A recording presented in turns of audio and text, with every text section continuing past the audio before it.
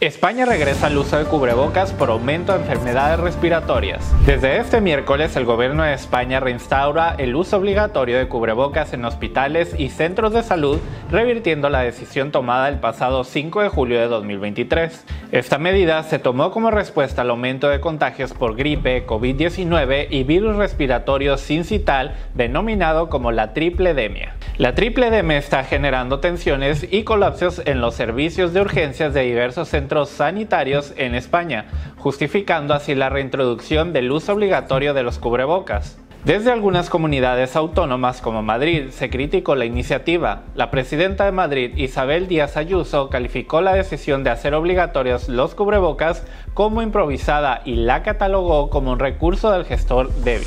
A pesar de la falta de consenso, al menos seis comunidades autónomas, incluyendo Canarias, Cataluña, Aragón, Valencia, Murcia y Asturias, ya habían decidido hasta el martes hacer obligatorio el uso de cubrebocas en centros de salud debido al repunte de contagios. La reintroducción de la obligatoriedad de cubrebocas en hospitales es un reflejo de la realidad epidemiológica que enfrenta España, con la tripledemia afectando los servicios de salud. La decisión del gobierno español genera debate sobre la efectividad de la medida y la gestión de la crisis sanitaria.